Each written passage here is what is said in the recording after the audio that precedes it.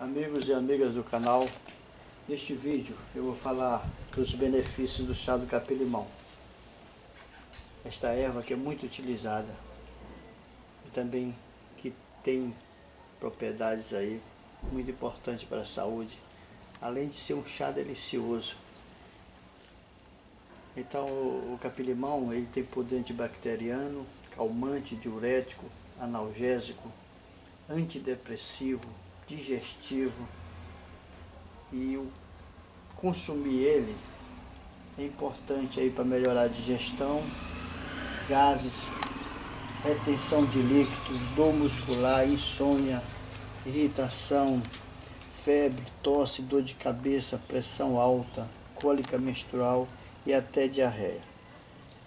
Além disso, também ele é bom aí para a pele, ele ajuda a controlar a oleosidade.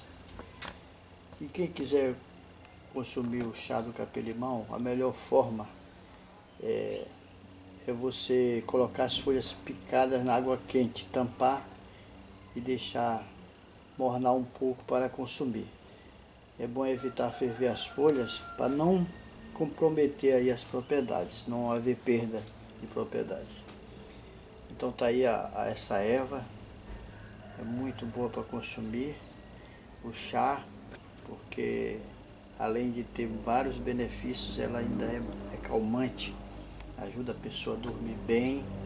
Então é uma erva muito importante você até cultivar em casa para de vez em quando fazer um chazinho. Se você gostou do nosso vídeo, compartilhe, se inscreva no nosso canal.